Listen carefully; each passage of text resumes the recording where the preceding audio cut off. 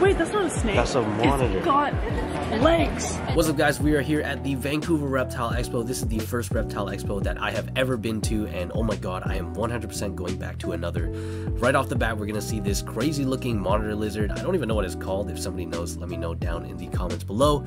Uh, then we're gonna move on some gigantic insects. I'm not the biggest fan of insects, but these were just so cool to look at. You can see this gigantic centipede. They got some scorpions, uh, as well as tarantulas, which, oh my, those kind of freaked me out, but they weren't moving, so it wasn't as bad.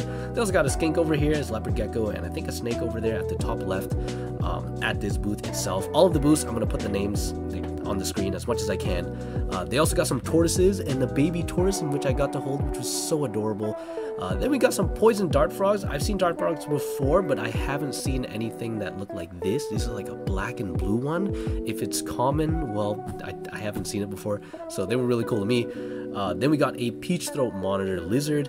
These guys are the adults. They didn't really do a whole lot other than like sit in the basking spot and just kind of chilled there.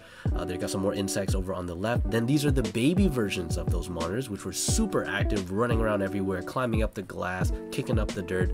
Uh, those were very cool to look at. And these, I don't know what these are, but somebody please find them. This is like some kind of miniature alligator lizard looking thing. They had a bright red head, very deep, rich green body, and some yellow tails. Uh, then we got some more uh, monitors over here. Blue tongue skink. This is like an adult, so they they're pretty big. It was like the size of my hand. I didn't think they'd get that big. I don't think I've ever seen a skink before as well. There's some gargoyle geckos we completely glanced over, and these are some beautiful pythons. I didn't realize pythons can come in such crazy colorations. I'm not the biggest fan of snakes, but there's one in the bottom left. His name is Waffles. There he is. He was really cute, and I really liked to just uh, look at him, and I also got to hold him, which was really nice. Uh, then we got some free feeders here by Cricket Worm. This is like a local feeder provider company, and they got some uh, free super worms for me. So thank you, you guys, for that. Then me and my girlfriend decided to spend too much time looking for the right sticker because you know that's what she wants is the right sticker. We actually got these for free from the Lazy Lizard, so shout out to you guys. Thank you for those stickers.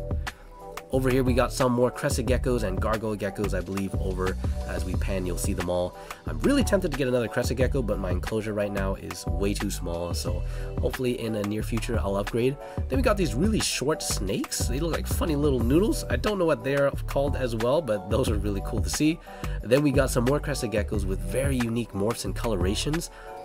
I am just absolutely in love with what they provide compared to like a pet store gecko, which you know doesn't look nearly as cool. Some more pythons here in these acrylic boxes.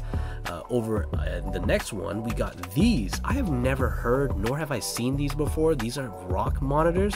If these are common, then I don't know what I'm freaking out about, but they're really cool to me. Uh, these guys came from Elusive Exotics. They also had some chameleons, which are so adorable. Uh, I've had one like way back in the day, many years ago, and I'm so tempted to get another. They look so funny, just trying to climb up the plastic tub here. You can see uh, those guys look really sick. Um, over here, I did not know people kept like jumping spiders as pets, but they have the, the most adorable enclosures I have ever seen. You can see all of these are custom. They had little pieces of wood with like miniature hides in them and a bunch of other little knickknacks that you put in these cages to make it look really pretty. Uh, so those were really cool. There's another uh, stuffed axolotl. There was quite a few stuffed pet animal looking things, which are really cool. And pins, of course. Uh, these look really nice. And, and more stickers, of course, more stickers. Uh, over here we have isopods, something I didn't know people kept as pets too, uh, but those also looked really cool. Uh, over here we got some mourning geckos, they're so small. There's also some babies I'll show later on in the videos, uh, but those are just absolutely tiny. And we got a Pac-Man frog, oh my god. I want some more Pac-Man frogs because uh, I, I love frogs if you guys haven't figured that out at this point. Uh, but that was really cool to see. They also had some corn snakes on their boots as well. And we got this uh, taxidermy insects. I don't know if that's the right term to call it, but they had a bunch of insects sort of frozen in time in these little frames, which was really interesting and creepy at the same time.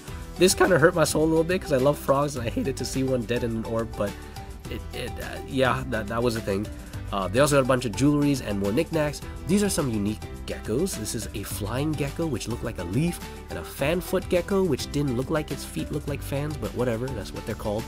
Uh, of course, we had a bunch of supplies and other goods, in which I got a few of those. I didn't get any animals this time. Um, And then here are the baby mourning geckos. These are like the size of a quarter. They're so small and so cute. Uh, then there's a bunch of uh, gargoyle and crested geckos here at uh, Klepto, Klepto, Klepto geckos. Uh, and this looked like a mini dragon. I don't know what it is. This is another thing I've, I've, never seen before. It had like tiny little spikes on its tail and had a really big head, so it looked kind of goofy, but it was very cool. Uh, then they got some more geckos all over the place and some snakes at this booth as well. Um, this enclosure looked pretty sick, but it's completely open, so I don't know if you can keep anything live in it other than like a few fish or some plants, which I guess it just had plants on it. Uh, this is some moth, uh, moth, moss hides. Um, and then some ant farms. I'm not a fan of ants, but I am a fan of the enclosures because they can get really elaborate with all kinds of like little pieces of tech in it and stuff. Uh, this is by Canada Ant Colony. If I ever get one, it'll probably be from them. This is a little poster explaining all the morphs of crested geckos here. And this, this gigantic miniature dinosaur looking thing, I don't even know if you call it miniature anything, because it's freaking huge. I didn't expect to see any animal like this at an expo in the middle of an ice rink, but this was here and this poor guy slapped it onto his back. There's no way in hell those claws do not hurt him because they were like clawing at him. It was like grabbing him. He had a few bloody cuts on his body. I'm totally guessing it's from this sucker right here. But God, that was insane to see. It was like a zoo in person. You can kind of just touch him and feel him, and oh my God, he looks freaky but so cool. Uh, so yeah, that's pretty much it. I hope you guys enjoyed this little mini tour of a reptile expo around me. I'm so going to another one. Uh, maybe there'll be one in the summer that I'm gonna head to. But yeah, I hope you guys enjoyed that video, and I will see you guys in the next one. Peace.